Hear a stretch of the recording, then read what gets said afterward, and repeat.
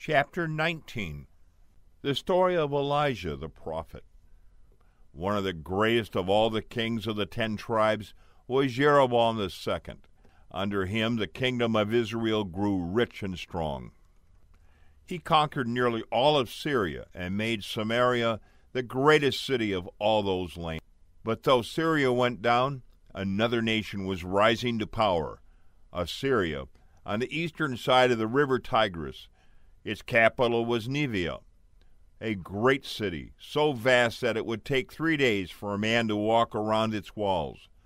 The Assyrians were beginning to conquer all the lands near them, and Israel was in danger of falling under their power. One of the kings who ruled over Israel was named Ahab.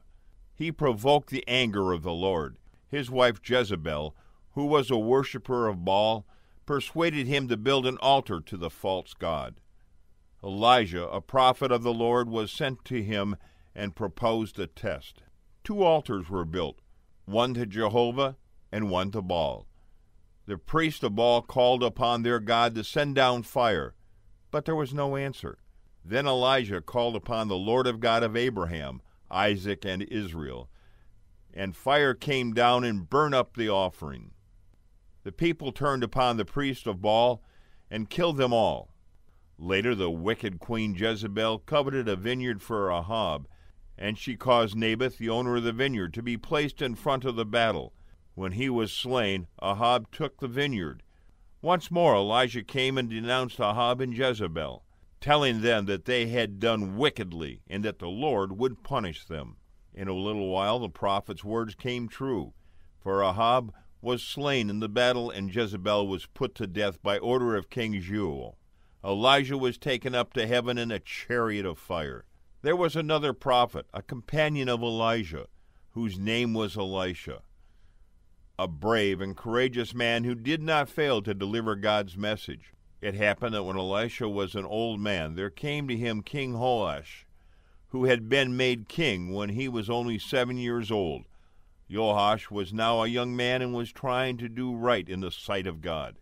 But he felt the need of the prophet's aid. And he came to Elisha, My father, my father, you are more to Israel than its chariots and horsemen. Elisha, though weak in body, was yet strong in soul.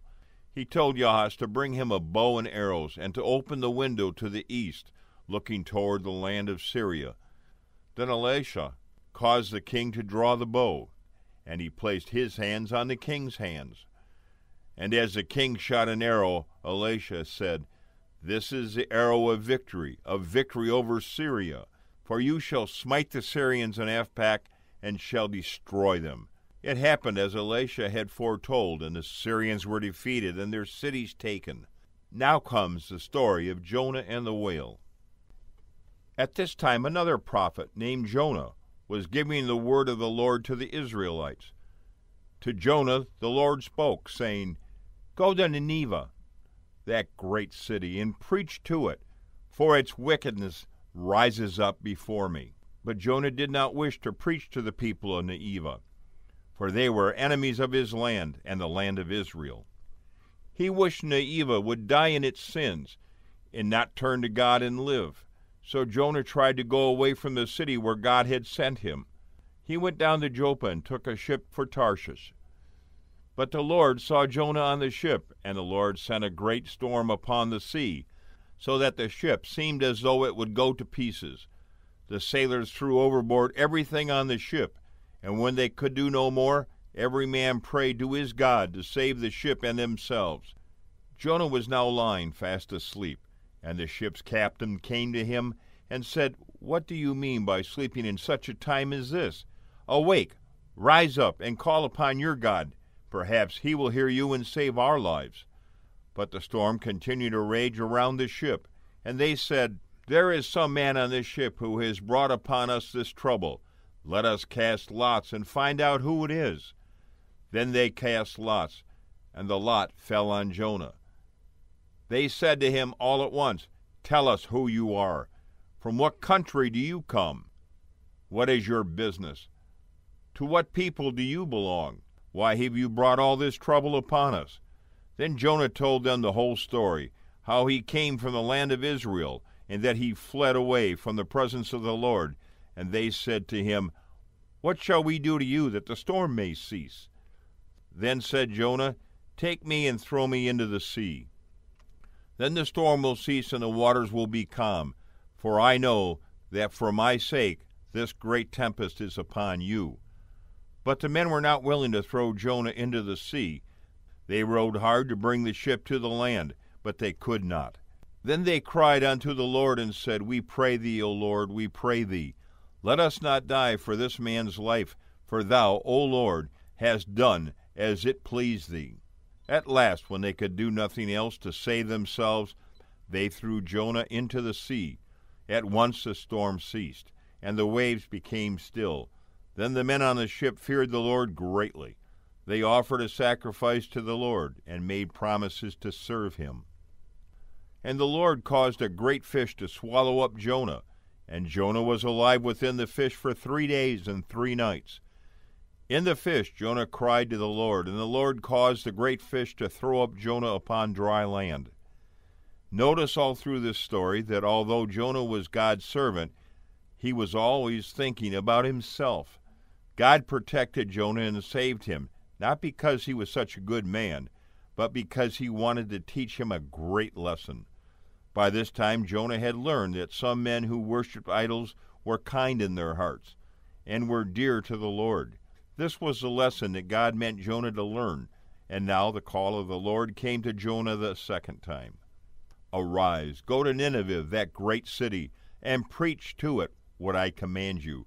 So Jonah went to the city of Nineveh, and as he entered into it, he called out to the people, Within forty days shall Nineveh be destroyed. As he walked through the city all day, crying out only this, Within forty days shall Nineveh be destroyed. And the people of Nineveh believed the word of the Lord as spoken by Jonah. They turned away from their sins and fasted and sought the Lord, from the greatest of them to even the least. The king of Nineveh arose from his throne and laid aside his royal robes, and covered himself with sackcloth and sat in ashes as a sign of his sorrow. And the king sent out a command to his people that they should fast and seek the Lord and turn from sin. And God saw that the people of Nineveh were sorry for their wickedness, and he forgave them. And he did not destroy their city. But this made Jonah very angry. He did not wish to have Nineveh spared, because it was the enemy of his own land. And also he feared that men would call him a false prophet when his word did not come to pass. And Jonah said to the Lord, O Lord, I was sure that it would be thus, that thou wouldest spare the city and for what reason I tried to flee away. For I know that thou wast a gracious God, full of pity, slow to anger, and rich in mercy. Now, O Lord, take away my life, for it is better for me to die than to live. And Jonah went out of the city and built a little hut on the east side of it, and sat under its roof, to see whether God would keep the word that he had spoken. Then the Lord caused a plant with thick leaves to grow up and to shade Jonah from the sun. And Jonah was glad, and sat underneath its shadow. But a worm destroyed the plant. And the next day a hot wind blew, and Jonah suffered from the heat. And again Jonah wished that he might die. And the Lord said to Jonah, You were sorry to see the plant die, though you did not make it grow. And though it came up in a night and died in a night, and should I not have pity on Nineveh, that great city, where more than a hundred thousand little children and also many cattle, all helpless and knowing nothing?